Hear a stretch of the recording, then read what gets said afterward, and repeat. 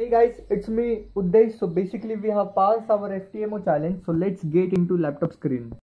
So yeah, so first of all we will refresh this page because hey important hey. So refresh this page and we yeah it's like it's like refreshing over here. So yeah it's got refreshed right now. Perfect.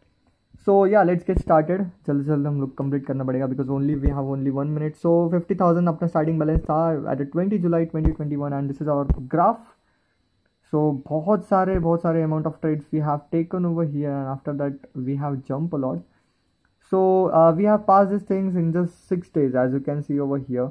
We have passed everything. Plus uh, yeah our win rate win rate is our win rate is 100 percent. Our 59,000 50,000 was the initial balance. Now it is 59,000 equity is 59,000 balance is 59,000 plus. It's like fluctuation over here but trades are open right now. That's why there are difference over here. So this is the result over here.